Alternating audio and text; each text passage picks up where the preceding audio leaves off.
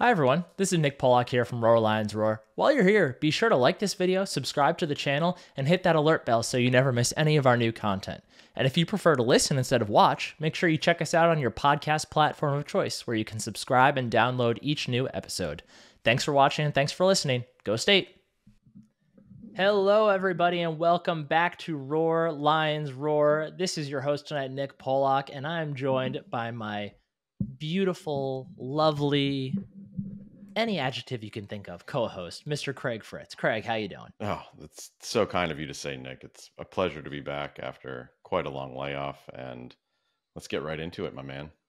When was the last time you podcasted? I I couldn't even tell you. It was probably okay. like bowl prep of some sort, maybe even before that. Um, it's been a minute. There were Christmas oh, wow. decorations in here. Yeah, yeah, yeah. I remember the the and the uh, the door behind you. Uh, there was a ghost. we had ghosts and uh, toy soldiers and Christmas trees. It's it was it was a scary time, but we, yeah, the, the giant nutcracker that was ready to come to life. Mm-hmm. Yeah, yeah, yeah. So, yeah, so you've been out of this even longer than I have. Wow, impressive. Um, well, Craig, we're here tonight to talk about the Penn State running back room. Perhaps the you know, it's tough to call it pound for pound the most talented room just because there's only so many bodies in it as compared to like, uh, you know, the receivers or the cornerbacks or the linebackers. But probably the most, you know, just in terms of what they do on the football field, probably the most exciting group they have. Is that fair? Yeah, I think so. I mean, from the offensive perspective, anyway, because how exciting can an O line be? And then you have a lot of guys at receiver that are, you know, unproven, trying to take over some top spots from Tinsley and Parker Washington, and then we just, you know, the quarterbacks are going to be in their first year of full action, so your your known quantities here your game breakers. I mean, I think it's almost iconic in uh, Penn State fan lore right now when uh, Gary Danielson and Brad Nessler were on the call Auburn, and they're trying to just you know make a point and Singleton busts off a 54 yard touchdown and said um, I'm even I'm leaving and you know the rest is history. And I think that's here what... goes Singleton. There goes Singleton. Yep. so good. So good. Yeah uh, for those of you listening right now hopefully you listened to the quarterbacks preview podcast yesterday or you know however many days ago whenever you're listening to this now but we did touch a bit on you know the impact that this running game should make on them so be sure to check that out um, and craig also mentioned the wide receivers that'll be coming a day after this podcast in which craig uh, accidentally makes a brief cameo while we're doing our ad read so be sure to listen for that it was very funny um, but let's really briefly, Craig, talk about what this running back room did last year. A couple different faces in there than we'll see this year. Um, but it was a really good year for a Penn State running back room that has been a bit maligned over the last oh three four years or so. Looked like there was maybe a light in the tunnel with uh, Noah Cain, and then his injuries really caught up to him. And then took the room a little bit to you know rebound, but last year rebounded in a massive way, mostly thanks to the two stud freshmen.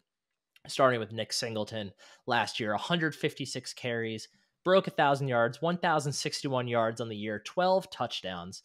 Um, but he was not alone in that effort because fellow freshman blue chip recruit Kaytron Allen, the fat man, 167 carries, actually outcarried Singleton, um, 867 yards on the year, 10 touchdowns. Also was the more prolific receiver of the two, 20 catches, 188 yards through the air, and one score on a uh, you know scramble drill busted play against Ohio State.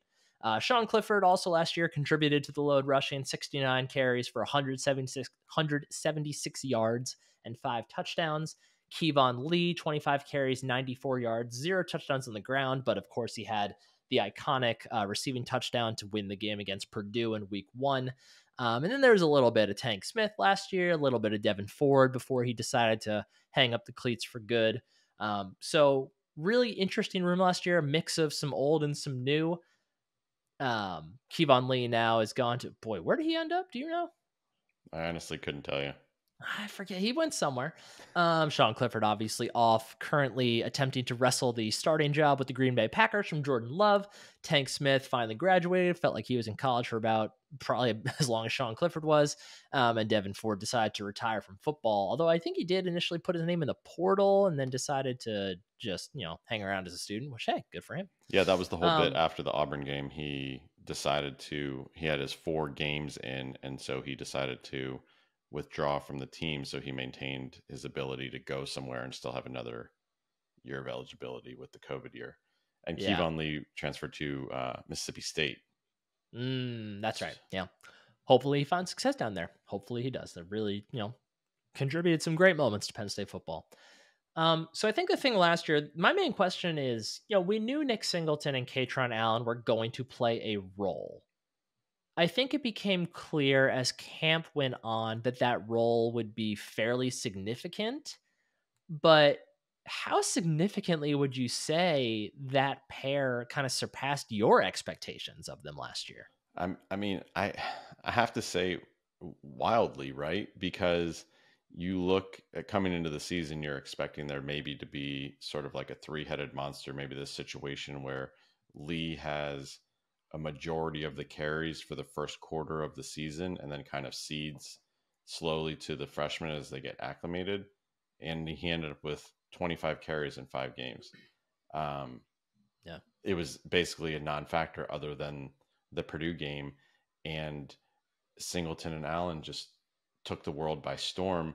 And re- I mean, just we talked. I touched on the Auburn game earlier, but goodness gracious, I mean, it was just an absolutely dominating performance. And that was like, hey, we're here, and they, you know, put their stamp on the rest of the year. And obviously, there were some bumps in the road you know, Singleton got happy bump, trying to bump everything outside or beat the corner when, you know, not following his blocks or following his reads. And the O line struggled um, every now and again. But I, I, I, think if anyone went into the season said these guys are going to combine for what, uh, over 1900 yards, nearly 2000 yards between the two of them, they would have said, you're crazy. That's freshman. It's like not a thing that happens in Penn State. Um, so.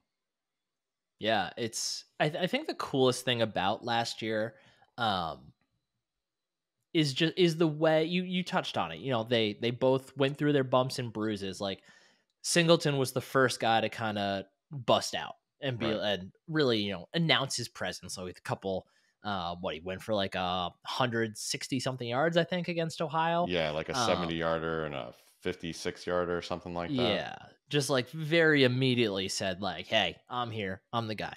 But then, like you said, you know, he got a little um big play happy. He got a little big play searchy. I'm gonna make up that term. Um, he he attempted to bump some things outside that he probably shouldn't have. He had you know free first downs right in front of him. He chose not to take it, and that's when we saw Kaytron Allen really take on more of a role because he, I think, uh, Singleton obviously has the big playability. He's got the speed. Allen, I think, does have better vision. And I think he came in with better vision, probably still has better vision now. He just doesn't have, you know, the speed of Singleton to turn every run into an 80 yard run. You know, if he did, he would have been a top five recruit in the country. Like you combine those two, that's a top five high school player. Um, but we saw him step in and be able to be a steady hand for the offense. And then we kind of saw Singleton work his way back in. I feel like Northwestern was really the turning point for him as far as starting to get a better understanding of how to be a complete running back. We mm-hmm. saw him you know, and obviously the conditions of that game played into it too. Very rainy, very wet. But we really saw him start to, you know, lower shoulder, go through tacklers, and it was just really cool. And we saw, and then we saw, you know, as the season went on, we saw Kaytron Allen start to do a bit more in the open field. Like, it's just so cool. It was so cool getting to watch these two learn from each other and like pick up on the things the other one was doing that they needed to improve on. And all the reports have been they've continued to do that. Like we've heard that Kaytron Allen is now faster and Nick Singleton has gotten better at reading defense. Like it's it's it could not be a more perfect situation what Penn State has built here in that running back room. Having these two to just constantly learn from each other and constantly push each other to get better. I very much agree that I, you know, I expected both of them to play a role. I was, you know, I was high man on the totem pole. I think on the the fat man train from the second you certainly second were. he committed. Yes. Um. So I I was expecting big things from me. I don't know if I expected 867 yards and 11 touchdowns as a true freshman while sharing the role with another true freshman. Like I don't I don't think even I saw that coming. But um, really a special season for those guys. Um, you know, sad to see Keyvone Lee and Devyn Ford go, both really talented guys, but you know, that's what happened. That's how college football works. When you got two dudes that are looking like, you know, they could both be Heisman candidates at some point if they continue on this track, that's just kind of what happens. I think the question now, though, Craig, these two are clearly the lead dogs in that room. How much more should we expect from them in 2023? You know, it's a great question, Nick. And so you're looking at their touches, right? Allen mm-hmm. had 187 touches, Singleton had 167 touches. You would love to say that their touch numbers would be about in that same range, just because that means that Penn State's likely doing well. Um, they're sharing the load and not getting overworked and probably avoiding injury. Um, I could see it ticking up, you know, ideally maybe 10 to 15% a piece, but you had to look at the, the carries that they're absorbing. Lee only had 25, Devyn Ford only had seven. So where are the other carries going to come from? obviously we think Penn State is probably going to run the ball more this year than last year, even though it already ran more than it passed a year ago. Um, I don't expect uh, Drew Allar to run 70 times like Sean Clifford did. And maybe that's foolish. Maybe that's not right. Maybe it will be something that is still in the Yurcich offense. Uh, I hope to not see to not have to see him run 70 times and to give it to these um, ridiculously talented running backs. And, eh, you know, to circle back, I think one thing that ex- could expand on this, you look at their average per play, Singleton was already at 6.8 yards a carry. Uh, Allen's already at 5.2 yards a carry. But as the season wore on, I felt that Yurcich was designing plays that fit their strengths. Um, yeah. You know, he was scheming for the talent that he had versus okay, you're a freshman. This is what we run. Find the hole. And realizing that he had two very special players in the backfield and scheming to get them into space as well as possible. And I think that's going to continue um, in this year coming up. So, you know, here, Lord willing, they stay healthy. I think that's the biggest thing. But I don't know. I'm expecting them to combine to go over 2,000 yards this year. And I would like to see Singleton more involved in the passing game. Only caught 11 balls last year, where Allen had 20. So it's 31 balls between them in the passing game. I think you're going to see um, with a reduced load on Drew Allar as far as trying to figure things out that the check down is a very popular option for him. Um, and you know, I'd love to see an offense where the running running backs are combining for like 50 catches to 60 catches between the two of them. Yeah, sure. Absolutely. It's I I think that's probably fairly likely for the reason like yeah, I we know Mike Yurcich has a lot of faith in Drew Allar, but he's going to want to make things as easy for him as possible while still, you know, putting points on the board and we exactly. know how talented these guys are. So like that's that's a, a really good way to score a lot of points is to get the hands and get the ball in the hands of these two guys. Um, I very much agree. I fully expect them both go to combine to go over 2,000. I think there's a pretty good chance they both rush for over a thousand yards. The only thing I think would hold that back would be how much involvement Trey Potts ends up getting. Sure. Uh, but we'll end up talking. We'll talk about him in just a minute here. Um, I think, Craig, the last question I have before we move on here is Do you expect the carries to be pretty much even again, or do you think one of them will start to take a little bit more of the lion's share? Man, it's a tough question because, like, what it's all situationally based, right? So, it, it, if they're looking for the tough yards, it feels like Allen is the guy. If they want to shut down the game and grind it out and preserve a lead, it feels like Allen is the guy. And that's not to say Singleton can't excel at that skill set as well. As you said, you know, he started to show in Northwestern a little bit more willingness for the tough yards, um, to move the pile, etc but like everyone needs their role, right? Like right. it's just because they can both do both things. It's right. important to have roles on an offense like that. That should be Kaytron's job. No, I agree, and, and roles and ex- it sets expectations as well. If the players understand yeah. exactly what's going on, um, I, I, honestly would not at all be surprised to see us an even split again, unless in their development it somehow got to a point where, say, Singleton has just now is like junior year Saquon Barkley, sure. and Kaytron Allen is sophomore Kaytron Allen. I, I I don't I don't see that as likely, but you know if you have a player that develops into an otherworldly individual, then obviously you're going to want them to touch the ball more than anybody else. Yeah, I do think that is the one caveat here is that um, James Franklin understands optics, and I think he understands how valuable it is to have a Heisman level player. So if there's an opportunity to like get either of these guys to New York for the Heisman ceremony, I gotta believe he's gonna do you know give them what they need in order to get there because that that's just a really big boon for the program. Huge. It's yeah, it just is. Um, Craig, you know what else is a really big boon to the program? it's a great segue. when everyone around it is wearing beautifully crafted and you know heartfelt heartfeltly is that an adjective designed apparel and that's what our friends at home field apparel do um, Craig, did, have you picked up anything from the new uh, the new shipment of Penn State stuff? You know, I have not had an opportunity yet, but I am I putting things on my list. Um, yeah, I've I've I've been meaning to go on and finish my cart. I, am thinking I want to put it in sometime this week, so I get it just in time for football season. Um, if you have not heard, Home Field Apparel released a whole bunch. I believe a 13 piece collection. The script, of, baby, uh, is sweet yeah, of new Penn State apparel to go along with the 15 piece collection they released way back when, when Penn State fans went balloons, balloons, berserk, ballistic, ballistic? Something with a B, and broke the uh, big new Saturday record for which will never be broken because they don't do that anymore. So good for you fans. Um, but you know about Home Field Apparel, premium collegiate apparel line based in Indianapolis where Big Ten dreams are made or shattered.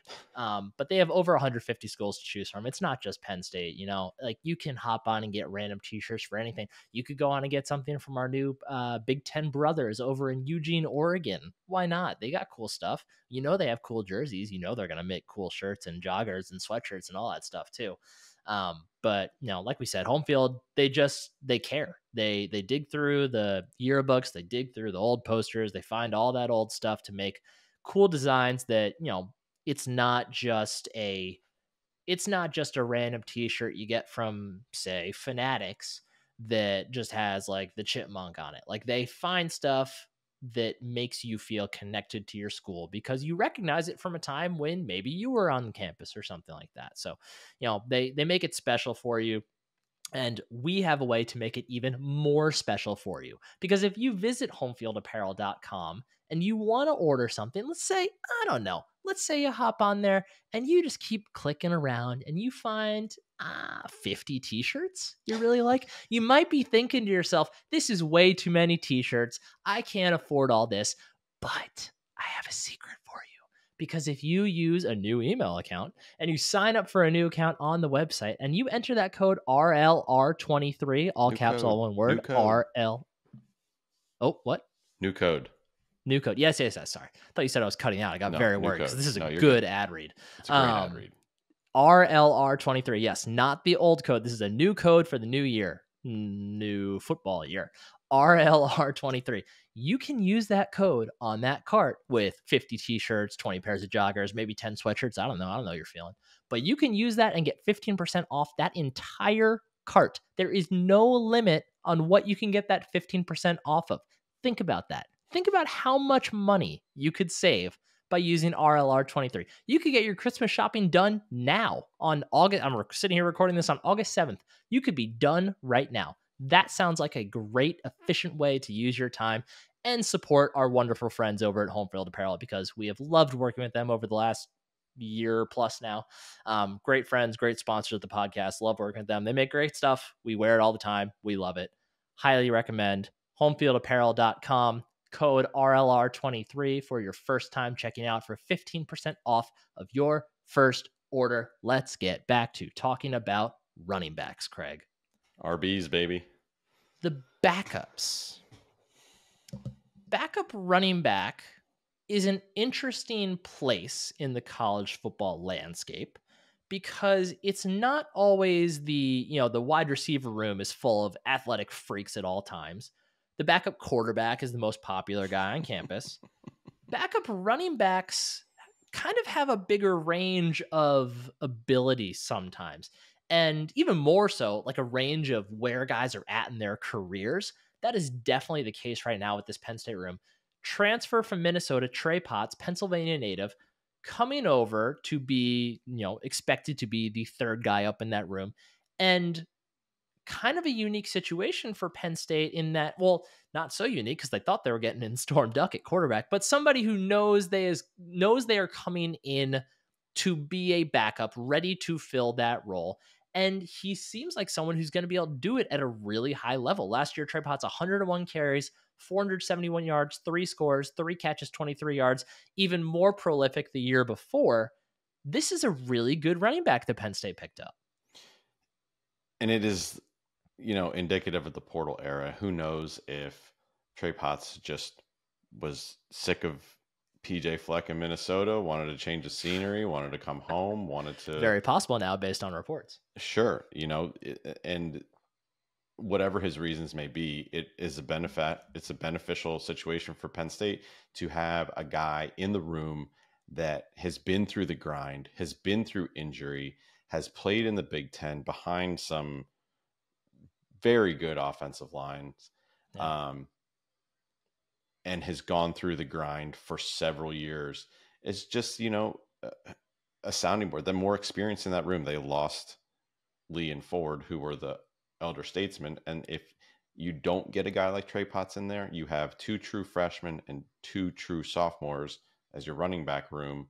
And the only voice of experience that they're listening to is their running back coach. Like they don't have anyone else to lean on that's done this at a high level um, and gone through the struggles and you know, frankly the the, the good times too. Obviously, like Trey Potts in 2021 got injured, but in five games was averaging 110 yards a game uh, for the Golden Gophers. So this isn't like a guy that's been a you know a, a, practice squad type player or like a, a you know a bench player. He's had a big role on a Big Ten team and done very well. Um, and I think Penn State is hugely fortunate to um, have brought him in for this year. Yeah, it's it's just huge for that room, like you said, in terms of experience, because you know, God forbid Nick Singleton or Kaytron Allen were to get injured, but you'd really like to have, for as talented as the two freshmen we're about to talk about are, you really like to have someone who's been there before because you know it it it can fall off the rails really quickly if you don't have a strong run game. We saw that from Penn State for multiple years before last year. And it's just really nice to have someone that you can feel comfortable with. Even though it's his first year in the offense with Trey Potts, I think we all feel pretty comfortable that he can very easily take the torch when he needs to. And at the very least, be a serviceable serviceable back. Um, hopefully, someone who can get involved a bit in the passing game as well, and maybe even be someone that they can call on to be a pass protector in you know obvious passing situations. More, and this is not to diss Trey Potts. I think he's a very good running back, but even more interestingly than Trey Potts, we have another pair of freshmen, just like Singleton and Allen last year, not as prolific when it comes to the recruiting rankings, but it sounds like these guys are already doing a good job of establishing themselves within the camp atmosphere for Penn State. And that's London Montgomery and Cam Wallace. Cam Wallace comes in with tr- crazy track star speed. Like probably is the fastest, maybe the probably the fastest player on the roster right now overall, probably. I mean, possibly he. Yeah. So as this is just from his recruiting background, but as an 11th grader, took second in the Georgia State 1A meet in the 200. I don't. I'm assuming 1A is small school. I don't know if it's 1A as big school there or not, but um, kid can fly. Let's. Yeah. And you know, if I, I believe we, you know, we we've seen. I, I feel like I remember a video circulating last year about. I, I think he hit the fastest recorded sprint speed of any player they found in high school football last year.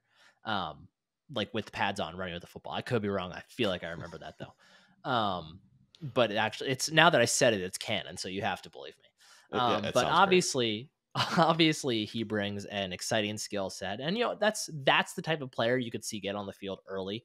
Um, just someone you know you can fly. But I think the the other name here is actually a bit more interesting, London Montgomery, because it sounds like from all the recruiting guys, it sounds like this was somebody that they expected to can like I I don't remember what his ranking ended at. I know he dropped a bit because he uh, missed almost his entire senior season, maybe the entire senior season, um, due to injury. But he was somebody that a lot of people were expecting to actually continue rising in the rankings. He is a really exciting talent, and I would assume, even though he's, it, I believe he is full go now or close to full go. I would assume they try to keep him, you know, mostly on the sidelines just to allow him to continue recovering. Um, because you know the first two guys in this depth chart aren't going to be here for long, and you're going to need running backs sooner rather than later. But London Montgomery is a name that I think Penn State fans should be really excited for going forward. So, Craig, my question for you is which of these two, and maybe my caveat kind of answered it here, but which of these two do you expect to make a bigger impact in 2023? I would have to say Cam Wallace just because of the speed factor. If mm. you, you know, they're always looking for, uh, you know, that type of thing in the kick return game um, as a change of pace back. Now, let's be clear here. I unless there are major injuries in the room, I don't expect either of these guys to play more than the four game redshirt limit. Yeah. Um, and we hope that there's not a need for that, you know, um, in the Penn State running back room. Now, if they come in and have the ability to make a difference, so be it. Um, but I think for 2023, a guy like Cam Wallace can be, if he has hands coming out of the backfield, you know, one of these kind of like aces that Yurcich has employed over the past couple years where defenses don't know where the ball is going to go and then all of a sudden you know they're gashed for 20 30 yards and maybe it doesn't it's not a play that you can go back to oh, time and time again but it's that one surprise play that gets you a crucial first down or cu- crucial huge chunk of yardage in a big game and those are the types of things that can make a difference. So i think for 2023 just because Montgomery is coming off of this injury um, and the speed and athleticism that Wallace has, I would I would pick Cam Wallace.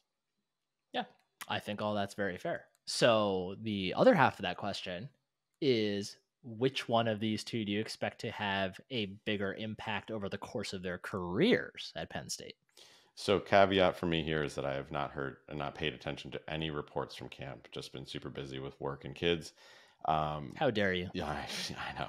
I couldn't drop everything and read every camp report trickling out of the uh, the the paid sites, but um, you know, I'll, I'll just say Montgomery just because looking at his his high school film, eh, he looks like a more complete back, the type of back that yeah. Penn State likes to recruit as a feature back. Um, so with a ton of uh, margin here that it really could be either of them. I will say London Montgomery for having the better career at Penn State.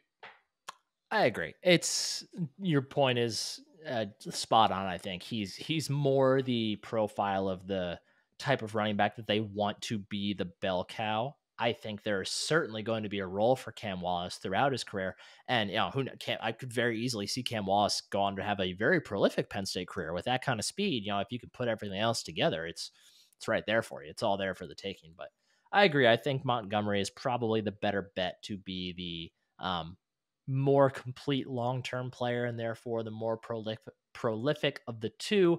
But I also agree that Cam Wallace is probably the one to make a bigger impact this year. Craig, any final thoughts on the running backs before we get out of here? Well, just to circle the back on on this is I think it's a really interesting recruiting job for James Franklin and his team and his you know his recruiting group to bring in a guy like Montgomery and Wallace because you're going to be hard pressed to get stud running backs after everyone in the country watches Nick Singleton and Kaytron Allen have the freshman seasons that they did, knowing sure. that there's limited playing time, limited opportunity if you are a similarly calibered running back coming in. But they found, you know, they stuck with Montgomery through his injury. They found Cam Wallace um, as a guy that had decent offers and high level of speed, maybe against competition that wasn't the highest level in Georgia, and he's a little bit smaller. But I think it's a testament to them really turning over every stone and finding some guys that fit the ethos of their program, but also can fit in and not be the ones that are demanding day one playing time, but are also still really talented and can make an impact. So kudos to them there. And man, my last thought is I am freaking excited to watch Nick Singleton and Kaytron Allen run between behind Olu Fashanu and the rest of uh, the road graders that um, that Penn State's putting out this year. Whew. It should be very fun indeed. You know, we expect the Penn State running game to lead the way for the offense this year. We expect the offensive line to be maybe the best it's ever been under James Franklin. So there's a lot of things coming together for um, this group of guys. Last question, Craig. Gun to your head. Before his career at Penn State is done, do we see Nick Singleton in New York at the Heisman ceremony? Ooh, man. Uh, yes. Nice. Love it. On yeah. that note, we're going to get out of here. Um, as always, please make sure you are subscribed on your podcast platform of choice. Make sure you uh, leave us a five star review on Apple if you're able. Make sure you check us out on YouTube as well. Subscribe and hit the alert button so you don't miss any of our new content. You can see our faces, say the words. It's really fun and entertaining. We actually get a lot of fun comments on there too, especially from opposing fan bases when we start doing that stuff. It's fun to hear other people chime in and, you know, give their side of things. Uh, so we've st- started to build a slowly building a fun little community over there. So make sure you join if you have a chance. Make sure you visit homefieldapparel.com. Use that code RLR23, all one word, to get 15% off of your first order. And make sure you come back tomorrow to check out our wide receivers preview, which, once again, quick cameo from Craig right in the middle of the ad read. Uh, for myself, Nick Pollock, thank you all for listening. For my co host, Craig Fritz, thank you all for watching. Go State. Go State.